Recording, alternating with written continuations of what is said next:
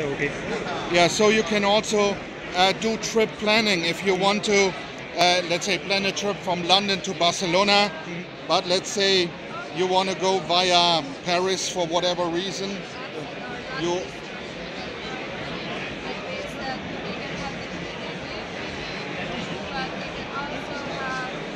so you can you can add multiple stops to a trip and plan a trip going from from place to place to place. Uh, then again, you calculate the route, and now you see it calculates the route from London via Paris to Barcelona. So you can add multiple stops, being it in a, a hotel on a long journey or a delivery stop for a professional driver. Uh, that's the kind of choices you have in the trip planning. Um, you can uh, subscribe to traffic service and then you would see live traffic information for your trip, uh, taking you around uh, traffic jams and big obstacles. Uh, you can change uh, certain vehicle preferences or route preferences.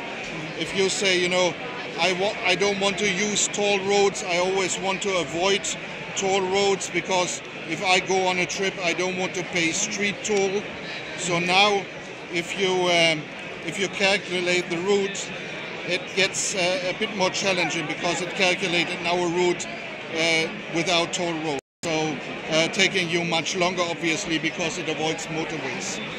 So um, then you have, um, you know, in the settings a lot of options to configure your navigation. So you can, uh, for example, choose to have speed camera alerts at a certain distance, let's say at 500 meters.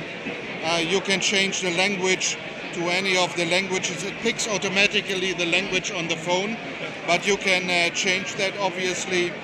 And you have much more um, details. Uh, let's see.